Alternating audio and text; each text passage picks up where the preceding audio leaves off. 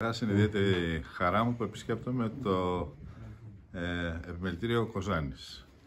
Και πιστεύω ότι σε μια συνεργασία απόλυτη, όπως ξέρετε η συνεργασία μας ήδη έχει ξεκινήσει με το επιμελητήριο Κοζάνης.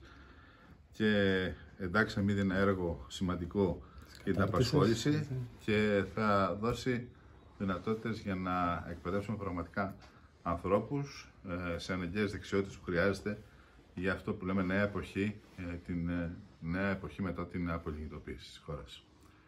Σίγουρα ο Λιγνίτης παραμένει μέχρι το 2028, όπως είχε πει και ο Πρωθυπουργός ο κ. Μητσοτάκης. Μένουμε σταθεροί στην προσήλωση αυτού του, της προσπάθειας.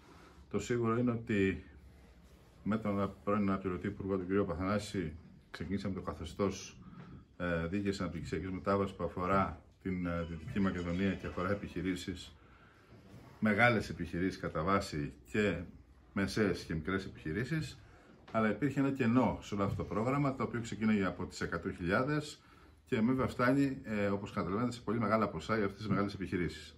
Θέλουμε να καλύψουμε ένα κενό για αυτές τις επιχειρήσεις που είναι από τις 10-20.000 μέχρι τις 100.000. Και στη συνεργασία με DG Rizio, ε, ήδη θα πάμε σε γραπτή διαδικασία άμεσα για να καλύψουμε αυτό το κενό των επιχειρήσεων. Θα διαθέσουμε σε πρώτη φάση ένα ποσό περίπου 31 εκατομμύρια ευρώ για τη Δυτική Μακεδονία και βέβαια θα μπορέσουμε να το αυξήσουμε αυτό εφόσον υπάρχει ενδιαφέρον για τις επιχειρήσεις αυτές για να καλύψουν βασικές ανάγκες, νέες επιχειρήσεις και επιχειρήσεις ήδη φυστάμενες να βελτιώσουν την παραγωγική τους δυνατότητα, τα μηχανήματά τους, ε, να πάνε σε αυτοματισμούς, σε νέες μορφές, ε, αν θέλετε, του επιχειρήν.